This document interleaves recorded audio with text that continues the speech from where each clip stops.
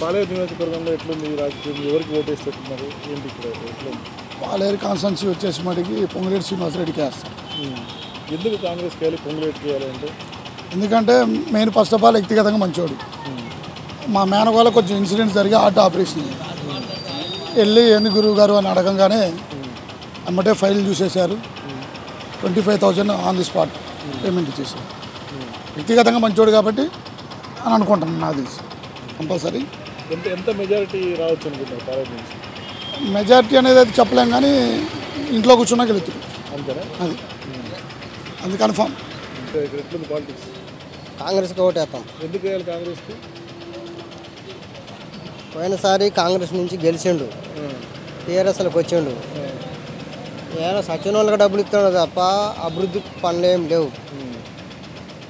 కానీ ఈసారి పొంగులేటి సీనన్న పాలేరుకి వచ్చింది కాబట్టి పొంగులేటి సీనన్నకి వేస్తాం పొంగులేటి సీనన్న గెలిపించుకుంటే మీకేం లబ్ధి జరుగుతుంది? డెవలప్మెంట్ అవుతున్న హోప్ ఉందా సీనన్న పని చేస్తాడు. ప్రజల్లో మమేకమైన మనిషి.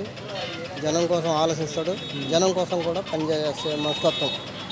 కేసీఆర్ వైఫల్యాలు అంటే ఏం చెప్తారు? కేసీఆర్ పాలన ఎట్లా ఉంది? కేసీఆర్ పాలన మొత్తం కేసీఆర్ ఆయన పెట్టిండు. ఆయన బిడ్డ మంత్రి అయింది. కొడుకు మంత్రి అయిండు అల్లుడు మంత్రి అయిండు ఆయన ముఖ్యమంత్రి అయిండు దళితుడు ముఖ్యమంత్రి చేయలే. ఆయన చేస్తానన్న మాట మీద తప్పిండు. అందు కాబట్టి కేసీఆర్ ఈసారి ఖచ్చితంగా ఓడిపోతాడు. ఏం పేరు? మాది ఖమ్మం నియోజకవర్గం. సరే ఉమ్మడి ఉమ్మడి ఖమ్మంలో ఎట్లా ఉంది పరిస్థితి రాజకీయంగా? రాజకీయంగా అయితే ఖమ్మంలో అయితే కాంగ్రెస్. ఎక్కడ చూసినా కాంగ్రెస్. పర్ఫెక్ట్గా కాంగ్రెసే రావాలా. ఎందుకు కేసీఆర్ పాలన ఎట్లా అనిపిస్తుంది? ఎందుకు? కేసీఆర్ పాలన అంటే సార్ ఒకటి డబల్ బెడ్రూమ్ అన్నాడు అది మాయపేలాలు చేసిండు.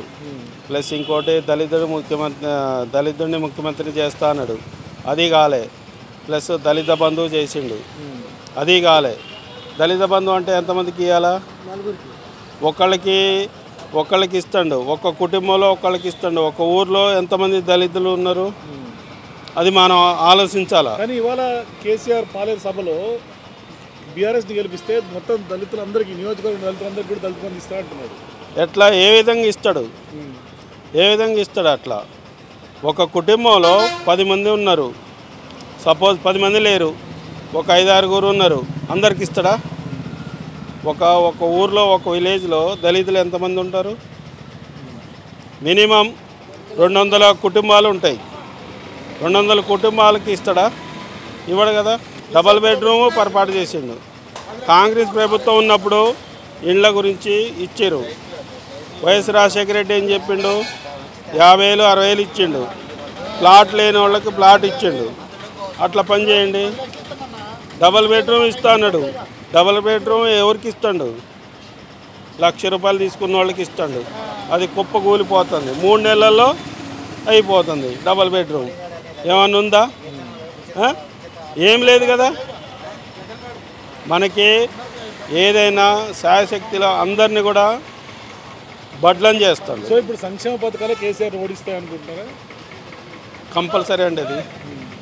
ఉమ్మడి ఖమ్మంలో కానీ పా పాలేరులో కానీ ఉంగులార్ శ్రీనివాస్ రెడ్డి ఇక్కడ పోటీ చేస్తారు పాలేరు నుంచి అని కూడా ప్రచారం జరుగుతుంది. ఏంటి ఖమ్మంలో రాజకీయం ఎట్లా ఉండబోతుంది శ్రీనివాస్ రెడ్డి గారికి అయితే కొంచెం ఆయనకి ప్రజల్లో సానుభూతి ఉంది. అభిమానం ఉంది. ఎవరిని కాదనడు.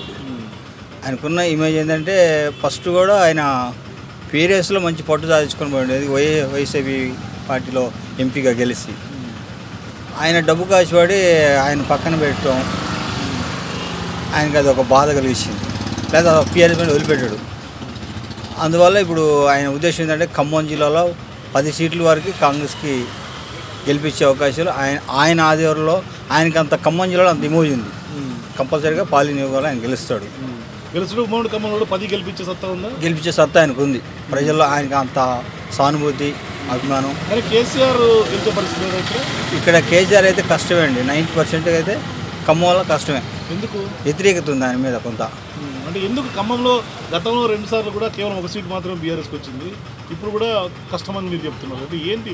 ఇక్కడ ఎందుకు ఖమ్మంలో బీఆర్ఎస్ పట్టు కోల్పోతుంది రోజు రోజు? ఇప్పుడున్న క్యాండిడేట్లను బట్టి అయితే ఈసారి కంపల్సరీగా ఇటు తుమ్మల నాగేశ్వరరావు గారు కానీ శ్రీనివాస్ రెడ్డి గారు కానీ ఉన్న సిచ్యువేషన్ బట్టి చూస్తే వ్యతిరేకత అయితే ఉంది ఖమ్మంలో. బీఆర్ఎస్ బీఆర్ఎస్ ఖచ్చితంగా హండ్రెడ్ పర్సెంట్ కొమ్మడి శ్రీనివాస్ రెడ్డి గారు ఖమ్మం నియోజకవర్గంలో పది సీట్లు ఖచ్చితంగా ఆయన ఖాతాలో ఖమ్మం జిల్లా మాత్రం కంపల్సరిగా ఖాయమే.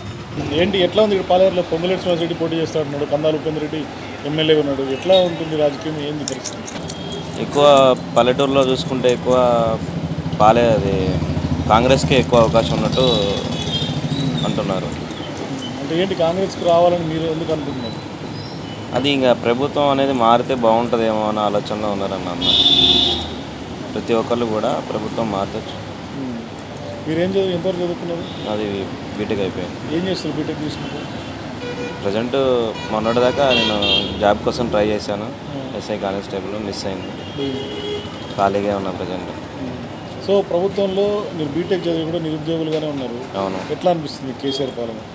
ఈ ఇది నోటిఫికేషన్లు కూడా సరిగ్గా ఇవ్వకుండా పేపర్ లీకేజీలు ఇవన్నీ జరగడం వల్ల చాలా ఇబ్బందులలో ఉన్నారు నిరుద్యోగులు కూడా. కొంచెం ప్రభుత్వం మారి ఇకనైనా మంచి నోటిఫికేషన్లు ఇచ్చి మంచిగా ఎగ్జామ్స్ అని నిర్వహిస్తే సెటిల్ అయ్యే అవకాశాలు ఉంటాయి చాలామంది నిరుద్యోగులు కూడా. ఏంటి మీ నిరుద్యోగుల పట్ల ఎందుకు కేసీఆర్ అంత చిత్తశుద్ధి లేకుండా నోటిఫికేషన్ లీకేజ్ దగ్గర నుంచి తాజాగా జరిగిన అనేక అంశాలు మొన్న ఆత్మహత్య నిరుద్యోగ ఒక అమ్మాయి ఆత్మహత్య చేసుకునే దాకా చూసుకుంటే కంప్లీట్ నిర్లక్ష్యమే కనిపిస్తుంది ప్రభుత్వం. ఎందుకు కనిపిస్తుంది? ఎందుకు అట్లా ఎందుకు నిరుద్యోగుల పట్ల ఈ- ఈ తర వైఖరి ప్రభుత్వం అవలంబిస్తుంది కేసీఆర్ ప్రభుత్వం అంటే? అది తెలియట్లేదు అన్న అసలు కేసీఆర్ ప్రభుత్వం ఎందుకు అలా చేస్తుందో మంచిగా చేస్తున్నారు అని అనుకున్నారులే కానీ ఇలా విద్యార్థుల పట్ల కూడా కొంచెం తక్కువ చూపించడం వల్ల ఇబ్బంది పడుతున్నారు విద్యార్థులు కూడా.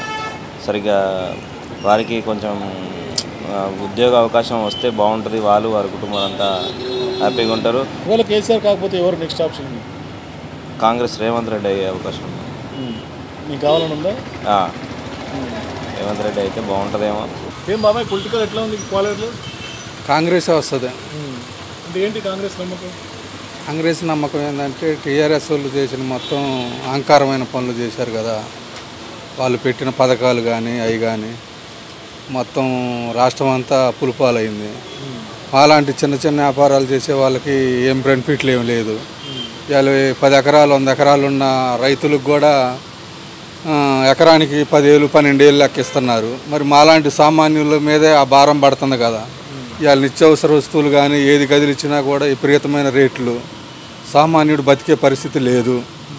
అందువల్ల ఏంటంటే జనం మొత్తం కూడా కాంగ్రెస్ ఓటేయాలనే నిర్ణయం మీద ఉంటున్నారు. సో పాలేరులో పొంగులేటి పోటీ చేస్తే ఎంత మెజార్టీ గెలిచే అవకాశం మెజార్టీ బాగానే వస్తుందిలే కానీ గెలుపు మాత్రం ఖాయం. కొన్ని ఓవరాల్గా స్టేట్ వైడ్లో కూడా మార్పు ఆ, బాగా మార్పు కనపడుతుంది. కాంగ్రెస్ గాలి మంచిగా రాజకీయ పరంగా అయితే ఇద్దరు పోటాపోటీ ఉన్నారండి. పొంగులేటి శ్రీనివాస్ రెడ్డి? పొంగులేటి శ్రీనివాసరెడ్డి పోటాపోటీ ఉన్నారు. కందాల ఉపేందరెడ్డి పోటాపోటీ ఉన్నారు. ఇద్దరు పోటాపోటీగా ఉన్నారు రాజకీయ పరంగా అయితే. అది ప్రజల్లో ఏమనుకుంటారు? ప్రజల్లో వచ్చేసి ఇక ఎవరు వస్తారనేది మనం ఏం చెప్తాం సార్? అంటే జనరల్ టాక్ ఏం ఏం నడుస్తుంది? మీ- టాక్ మన నా ఒపీనియన్ అయితే ఏం లేదు. ప్రజెంట్ అయితే కాంగ్రెస్ అని చెప్పేసి చాలా మంది అనుకుంటున్నారు అంతే. పాలేరులో వ్యక్తిగతంగా చూసుకుంటే కందాల ఉపేందర్ రెడ్డి గారు కన్ఫామ్గా గెలుస్తారు. అభివృద్ధి ఏం జరగలేదు పాలేరులో. కేవలం డబ్బులు ఇస్తున్నాడు సేవ మాత్రం అదే జరుగుతోంది అని కూడా చెప్తున్నారు కొంతమంది. సి- నీ- నీ ఇప్పుడు భగత్వీడు గ్రామ పంచాయతీ కూసుమని వల్ల భగత్వీడు గ్రామ పంచాయతీ మాది. మా గ్రామ పంచాయతీలో మొన్న కూడా నలభై మూడు లక్షల వర్క్లు వచ్చాయి. ప్రీవియస్ కూడా ప్రతి వర్క్ ఏదైనా సరే అంతకుముందు రోడ్లు కానీ ఏది చూసుకున్నా సరే దారుణంగానే ఉండేది. ఈరోజు చూస్తే ప్రతి వీధి ఒక రోడ్తోనే ఉంటుంది. అంత డెవలప్మెంట్ ఉంది. అంటే వచ్చిన ఐదు సంవత్సరాలు ఎట్ ఏ టైం చేయాలంటే అది ఎవరి వల్ల కూడా కాదు. పాలేరు నియోజకవర్గమేనా? ఏంటి ఇక్కడ ఇక్కడ ఎట్లా నడుస్తుంది? ఎవరికి వేసినట్టు ఓటు కేసీఆర్ పాలన ఎట్లా ఉంది? మంచిగానే ఉంది. కేసీఆర్ పాలన. ఎవరికి ఓటు వేసినట్టుంది ఎటు చేస్తాను కేసీఆర్కే. కేసీఆర్కి వేస్తారా? అంటే కేసీఆర్ పాలన బాగాలేదని విమర్శలు ఉన్నాయి మార్పు కోరుకుంటున్నాను చాలా మంది చెప్తున్నారు. మీరేమంటారు? సరే దాన్ని మంచి బట్టి ఉంటుంది ఏదైనా రాజకీయం బట్టి ఎటు మంచిగా అనుకుంటే అటు వేస్తాను ఎటు మంచిగా అనుకుంటే అటు.